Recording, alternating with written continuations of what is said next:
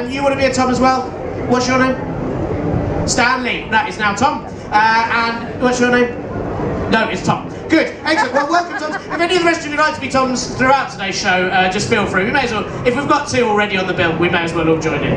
Um, good. Well, Tom, what was that? What? Yeah, but who are you talking to? Are you talking to yourself? This is now might get confusing. Hang on a second.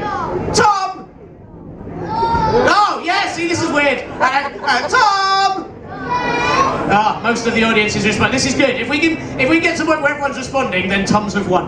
Um, good. Um, well, well, welcome to you. This has already gone very weird. I like this. We're inside a giant purple cow. It couldn't get any more weird than that.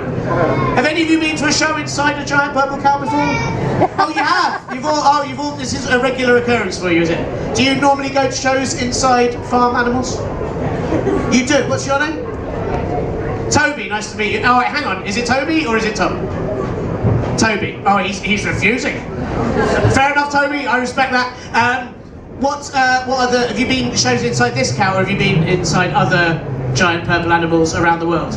Specifically this one. Has anyone been in a different giant purple upside down animal? this is only this one, isn't there? Yeah, someone should look for some Rafi Stradwick. Um,